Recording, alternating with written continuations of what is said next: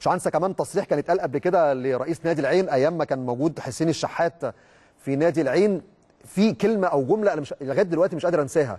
فكرة حتى لو رئيس نادي العين لما يقول لك لو النادي الأهلي طلب حسين الشحات أو حتى لما جه من المقصه لنادي العين وما راحش النادي الأهلي وقتها قال لك يعني هو حسين الشحات هو راح من العين اليمين للعين اليسار. العين اليمين هو النادي الأهلي والعين اليسار هو العين الإماراتي. فهنا أو هنا البيت واحد بالنسبة له.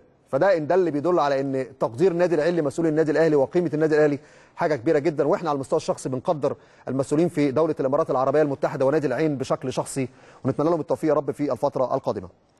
تدريبات فريق النادي الاهلي، طبعا الفريق كان بيواصل تدريباته في الفترة الحالية، النهارده الفريق كان عنده تدريبات بدنية وفقرة ترفيهية للعب الكرة باليد تحت إشراف توماس بينكل ده جزء من تدريب مخطط الأحمال في الفترة الحالية، يعني هو جزء من البرنامج البدني اللي بيعده مخطط الأحمال في الفترة الحالية.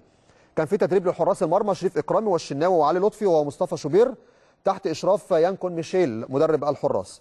فقرة للكرات العرضية أيضا في مران الاهلي ده جزء من التدريبات التخصصية اللي بيقوم بها ريني فايلر مع اللاعبين في التوقيت الحالي. أيضا كمان كان في جزء لتدريب المصابين في الفترة الحالية وإزاي يقدروا يخلصوا البرنامج العلاجي والتأهيلي في الفترة الحالية. مروان محسن أيضا بيستكمل برنامجه التأهيلي استعدادا للعودة للمشاركة في المران الجماعي وفي جلسات جيم في التوقيت الحالي لمروان محسن وبيخضع مروان لبرنامج تاهيلي بعد الجراحة التي أجراها في عظام الوجه بسبب الإصابة اللي تعرض لها خلال مباراة سموحة. عاشور بيؤدي جلسة في الجيم، حسام عاشور في الفترة الحالية يمكن تعرض لإصابة خفيفة كدمة قوية في الركبة خلال التدريبات الماضية، لكن الجهاز الطبي يفضل ان يكون في تدريبات يعني استشفائية وخفيفة لحسام عاشور في صالة الجيم تحت إشراف طارق عبد العزيز أخصائي التأهيل.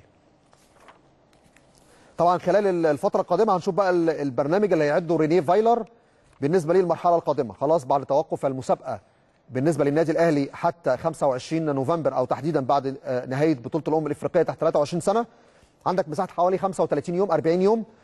ما بين بقى فكرة إن يكون في راحة سلبية إقامة مباريات ودية. هنشوف كمان القائمه الفترة القادمة المنتخب الأول والمنتخب الأولمبي هيضم مين من خلال لاعبي النادي الأهلي في الفترة القادمة لأن كمان المنتخب الأولمبي عنده تصفيات البطولة الإفريقية تحت 23 سنة المؤهلة لدورة طوكيو الأولمبية اللي هتستضيفها مصر إن شاء الله خلال فترة شهر نوفمبر خلال الفترة القادمة.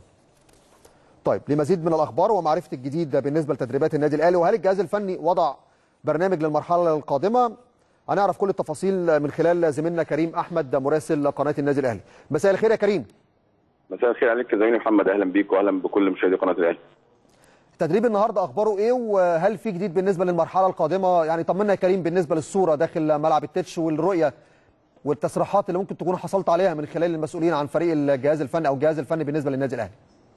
يمكن أكيد طبعا كل كان في انتظار للقرار الأخير للاتحاد المصري لكرة القدم. كلامك طبعا في البداية محمد التدريب النهارده مستر ريني فايرا كالعاده بيحاول إن هو في كل التدريبات تكون في محاضرات للاعبين لتحفيزهم وتحميسهم والحفاظ على التركيز والحالة المعنوية والتركيز الكبير اللي إحنا بنشوفه من خلال التدريبات لفريق النادي الأهلي وتاكيدا على الفصل التام. كل الأمور المحيطه لابد إن هي لا تشغلنا فقط الانشغال يكون في المباريات في التدريبات في الوصول لل top form النادي الأهلي بالفعل كان ماشي بشكل طيب جدا وكنا بنتمنى المسابقة تكتمل. النادي الأهلي يواجه كل المباريات لكن خلاص طبعا أكيد الفترة اللي جاية يكون فيها تغيير كامل وشامل للجهاز الفني أكيد مستر رينيه فايلر.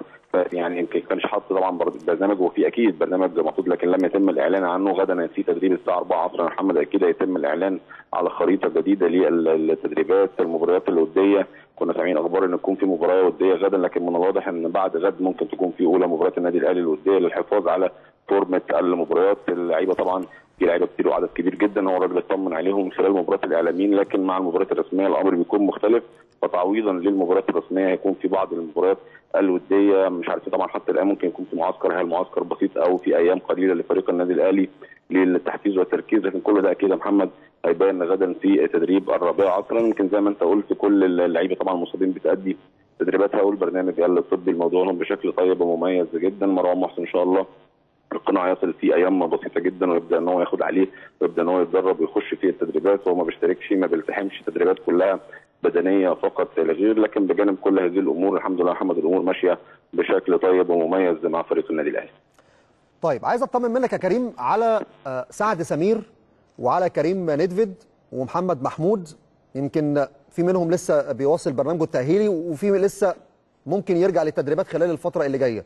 طمنا على حالة الثلاثي تحديدا يعني اللي شارك في التدريبات الجماعية وصل لأي مدى من حالته الفنية أو اللي أنت شايفه في الملعب واللي لسه غايب زي كريم ندفيد ممكن يلحق إمتى التدريبات أو يكون جاهز للفترة اللي جاية يمكن لو هختم معاك بكريم ندفد النهارده كالعادة كريم بيواصل تأهيله وتدريباته في برنامج أكيد طبي موضوع ليه في مباشرة مستمرة مع الطبيب الاماني طبعا. يمكن كريم ماشي بشكل طيب ومميز ويمكن من أسئلتنا المستمرة للجهاز الطبي عن الحالة التحسن بتاع كريم ماشي إزاي. يمكن تطمينات على طول من طبيب النادي الأهلي إن كريم ماشي بشكل طيب. ده أكيد ينطبق على محمود متولي كمان. يمكن محمود متولي نفس القصة محمد في مراحل متقدمة كان في حقن أخيرة يمكن بتحاول إن هي بيشوفوا الالتئام اشعه أخيرة بيشوفوا المزق وصل لقد إيه التئامه لأن أكيد طبعا يعني البرنامج الموضوع لمحمود متولي برنامج طويل شوية بالنسبة للمزق لأن كان عنده مزق من الدرجة الثانية وده يمكن بيبقى صعب شوية لكن التدريبات والجلسات اللي, اللي موضوعة له ماشي بشكل طيب جدا الالتئام وصل لدرجة طيبة جدا إن شاء الله مؤشرات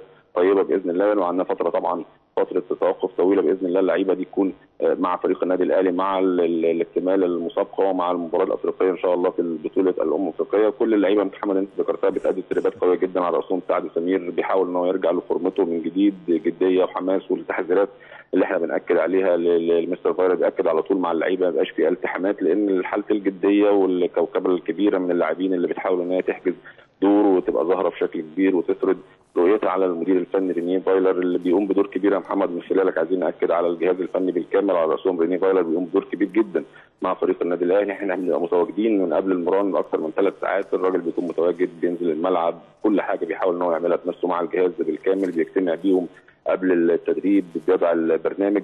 في تركيز وفي يمكن يعني كنا بنتمنى زي ما بقول لك محمد إن يكون في استئناف للمباريات لأن الحالة كانت طيبة جدا لفريق النادي الأهلي.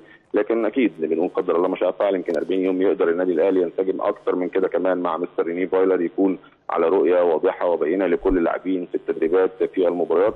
وإن شاء الله يكون القادم أفضل بإذن الله للنادي الأهلي يا محمد. كريم أنا بشكرك شكرا جزيلا. بصراحة أنت ما اديتنيش فرصة أسأل أي أسئلة كل المعلومات معاك.